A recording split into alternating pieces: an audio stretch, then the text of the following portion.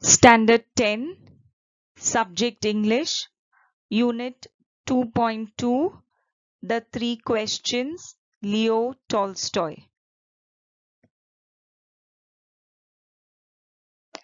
Leo Tolstoy 1828-1910 was a Russian writer who is regarded as one of the greatest authors of all time.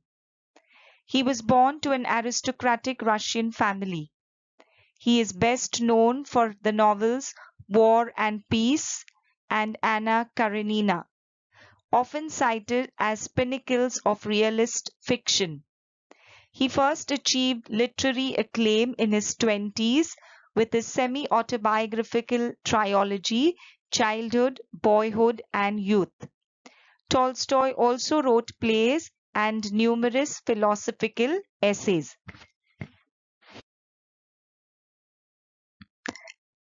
Explanation of the lesson The Three Questions. We shall first read the lesson. Once a certain king had an idea. If he always knew the right time to begin everything, if he knew who were the right people to listen to and who to avoid, the most important thing to do, he would never fail in anything that he would undertake. And above all, if he always knew what was the most undertake, since he was convinced that he was right in thinking this way, he had a proclamation made in his kingdom. He would give a great reward to any one who would teach him what the right time was for every action, who the most necessary people were, and how he might know the most important thing to do. Many learned people came to the court, but they all gave different answers. In reply to the first question, some said that to know the right time for every action, one must draw up in advance a table of days, months, and years, and must live strictly according to it. Others declared that it was impossible to decide beforehand the right time for every action, but that, not letting oneself be absorbed in idle pastimes, one should always attend to all that was going on, and then do that which was most essential. Yet others said that it was impossible for one man to decide correctly the right time for every action, and that the king should instead have a council of wise people who would help him to fix the proper time for everything.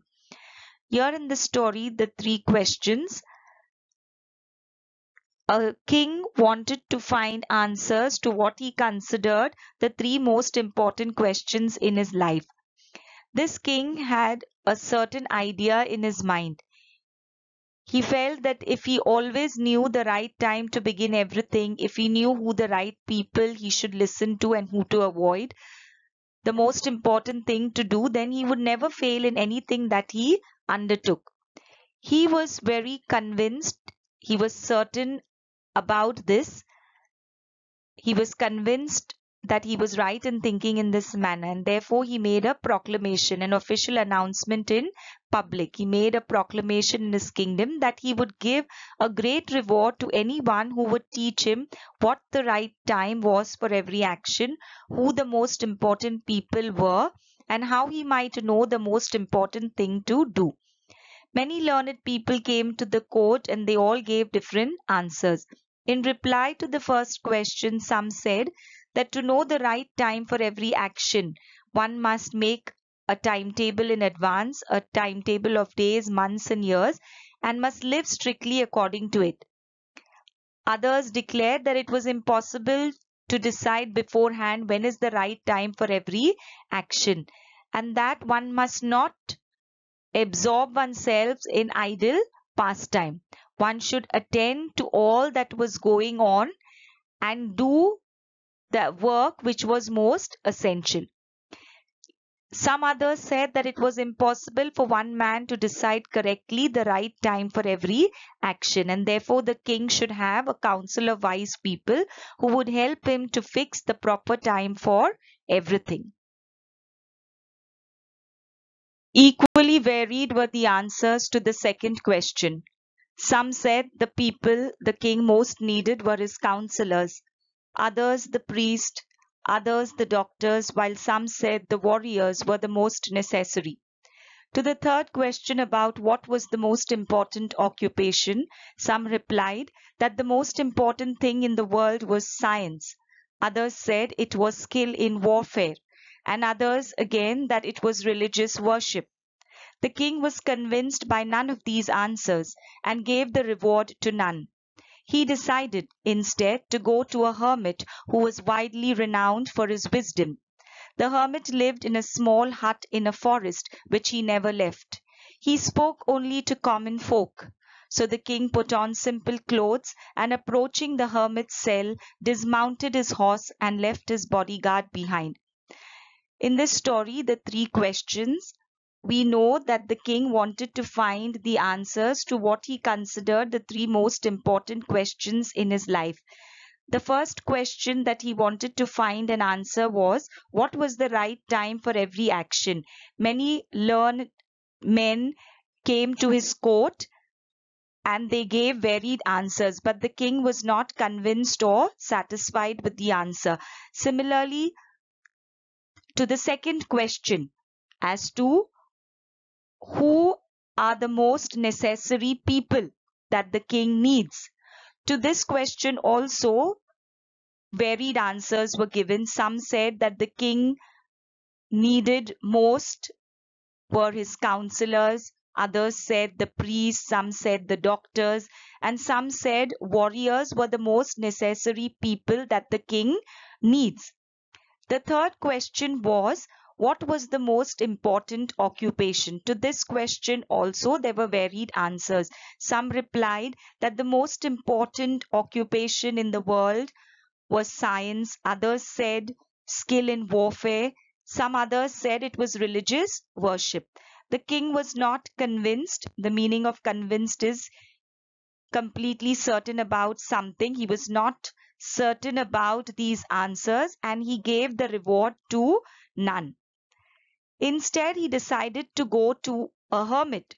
The meaning of hermit is a person living in solitude as a religious discipline. So the king decided to go to a hermit who was famous for his wisdom. Renowned is famous. This hermit lived in a small hut in a forest which he never left. And he spoke only to common folk. Meaning of folk is people. Therefore, the king, in order to meet the hermit, he decided to put on simple clothes and approach the hermit's hut. He dismounted his horse. Dismount is get off a horse, bicycle or anything that one is riding. So he got off from his horse and left his bodyguard behind and approached the hermit's hut.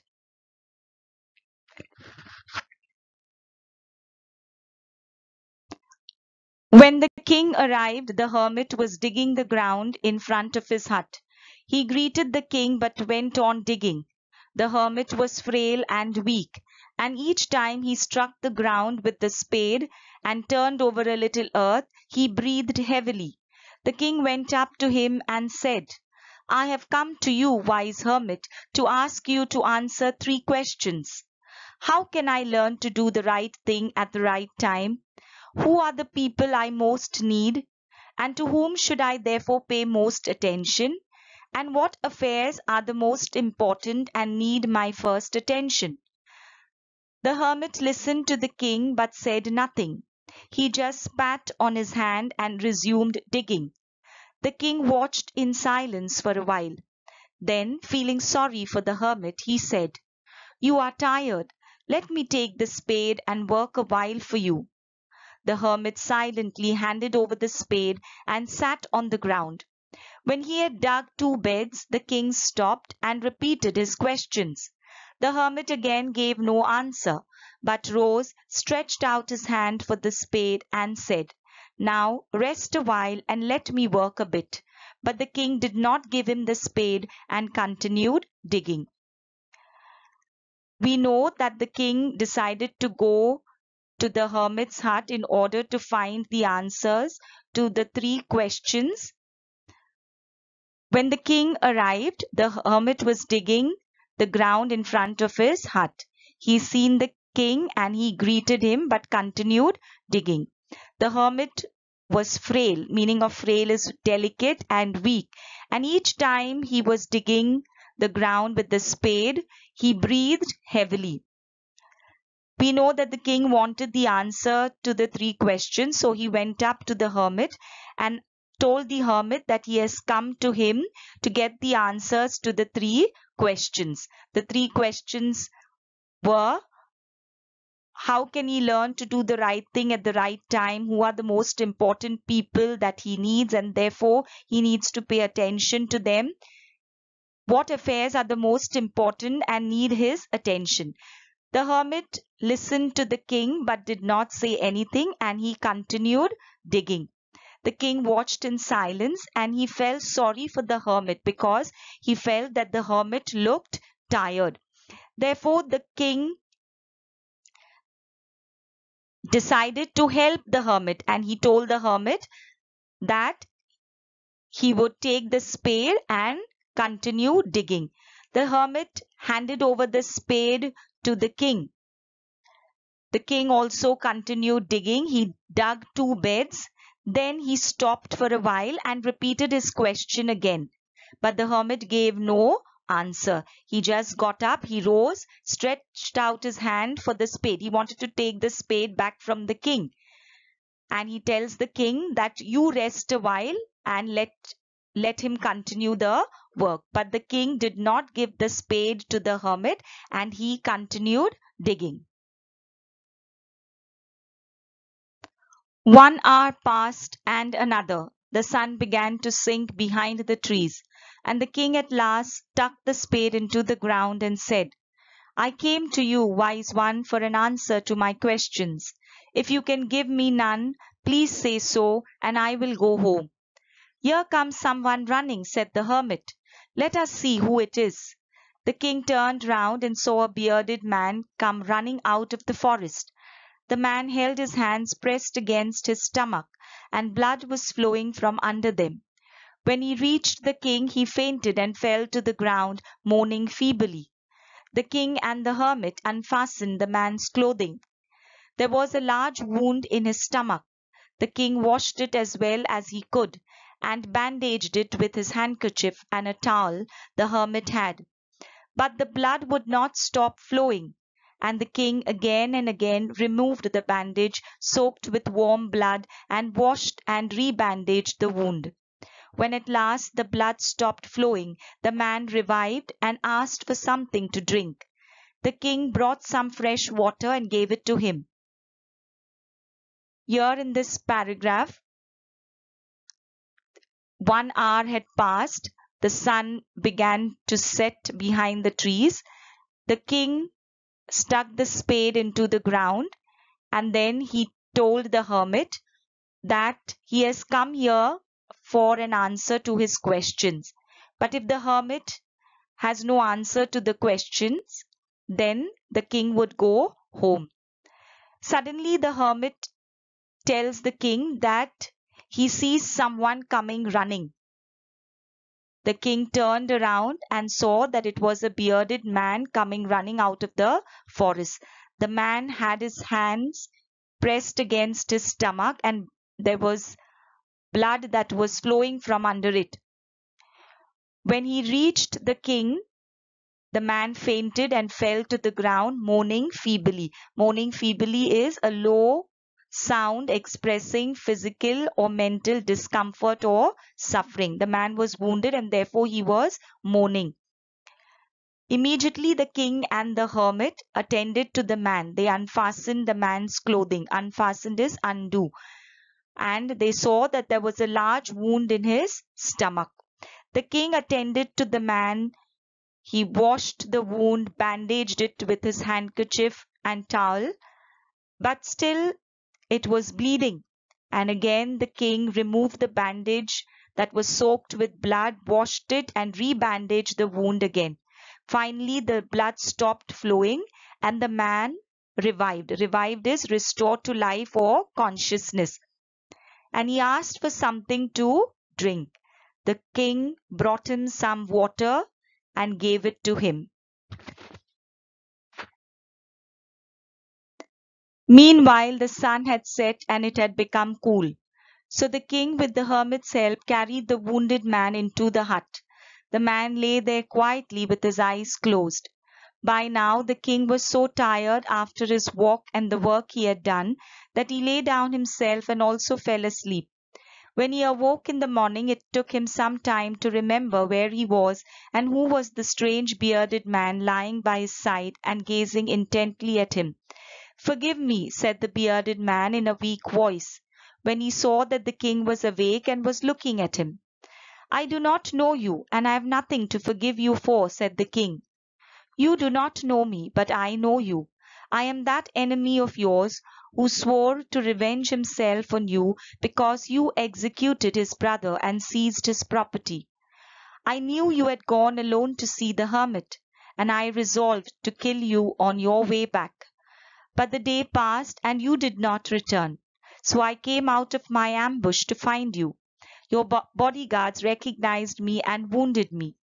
I escaped from them, but would have bled to death had you not dressed my wound. I wished to kill you, but you have saved my life. Now, if I live, and if you wish it, I'll serve you all my life.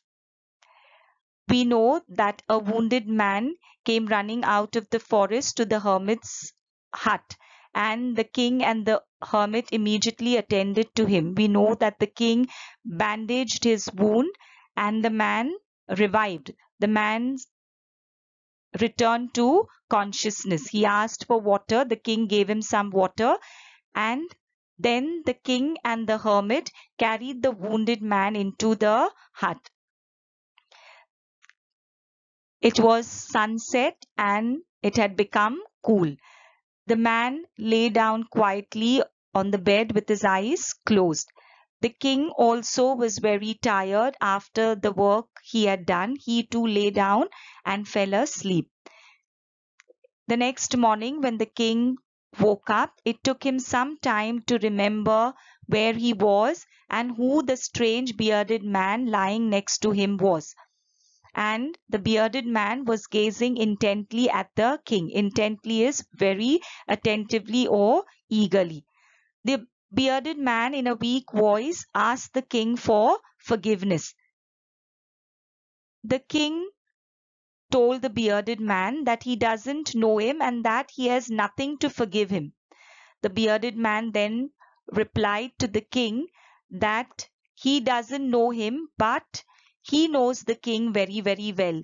He is the king's enemy who had swore to take a revenge. The meaning of revenge is the action of hurting or harming someone in return for an injury suffered at their hands. So the bearded man had come to take revenge from the king.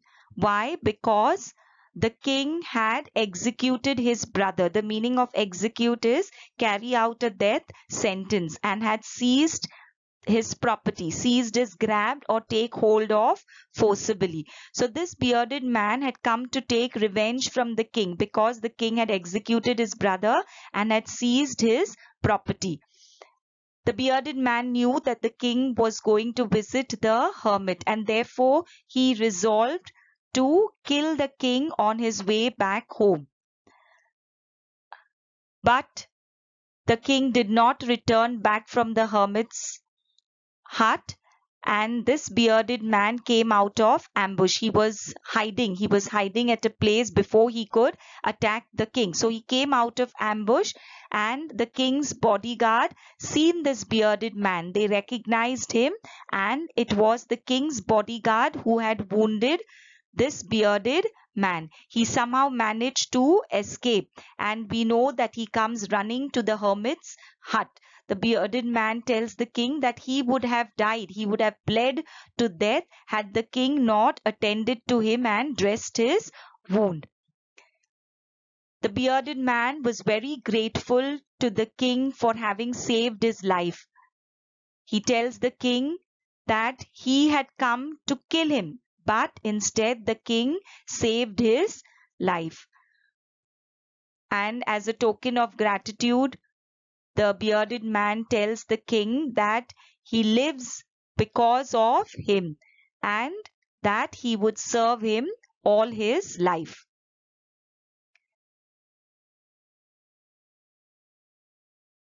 The king was very glad to have made peace with an enemy so easily. And to have gained him for a friend. He not only forgave him, but said he would send his men and his own physician to attend to him. The king then took leave of him and went out of the hut to look for the hermit. Before going away, he wished once more to beg for an answer to the question he had asked. The hermit was outside on his knees, sowing seeds in the beds that had been dug the day before. The king approached him and said, For the last time, I pray you to answer my questions, wise man. You have already been answered, said the hermit, still crouching on his thin legs and looking up at the king who stood before him. What do you mean? asked the king. Do you not see? replied the hermit. If you'd not pitied my weakness yesterday and stayed to dig these beds for me, you would have gone back and been killed by that man. So the most important time was when you were digging the beds, and I was the most important man. And to do me good was your most important business. Afterwards, the most important time was when you were attending to that man for if you had not bound his wounds, he would have died without having made peace with you. So he was the most important man, and what you did for him was your most important business. Remember then, there is only one time that is important now. It is the most important time because it's the only time when we have any power. The most necessary person is the one with whom you are for you do not know whether you will ever have dealings with anyone else. And the most important thing is to do this person good, because for that purpose alone were you sent into this life. Here in this paragraph, we know that the king was very happy, was glad to have made peace with the enemy. The wounded man was his enemy. But after the king saved his life, the king and that wounded man became friends. The king forgave the man and also sent his own physician to attend to him. The king then took leave of the wounded man and went out of the hut in search of the hermit, because before going away to his palace, he wished once more to beg for an answer to the questions he had asked. The hermit was outside on his knees. He was sowing seeds in the beds that had been dug the previous day. The king approached the hermit and told him that he wishes to know the answer to his three questions. So the hermit told the king that he has already been answered. The hermit was still crouching on his thin legs and looking at the king. Crouching is bending. And he tells the king that you have been answered. The answers to the three questions have been already given to you. So the king wondered what the hermit was trying to tell him.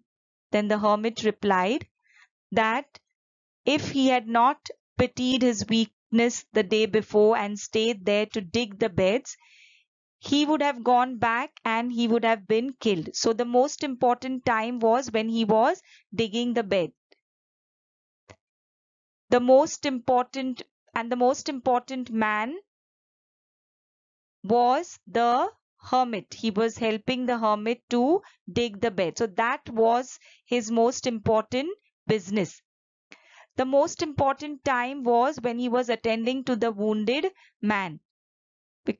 He bound the wounds of the wounded man. If he wouldn't have done so, then the man would have died, and then the king would have not had a friend. He would not have made peace with that wounded man. So he was the most important man and what he did to that man was the most important occupation or business. The hermit tells the king that the only time important is the present time. That is the time when we have the power. The most necessary person is the one with whom we are because we do not know whether we will have dealings with anyone else. So the most important person is the person with who we are, the person with whom we are working. And the most important occupation or the most important thing to do is to do that person good to do good to that person with whom we are because for that purpose alone are we sent into this world. Homework to be done. Answer the following questions. Question number 8. Complete the English workshop given at the end of the lesson, exercise 1 to 10. Question number 9. Narrate an experience of your own that has helped you to realize that patience is bitter but its fruit is sweet. Write in your notebook in about 20 lines. The 10th question Write a dialogue between your teacher and you on study tips in preparation of an examination.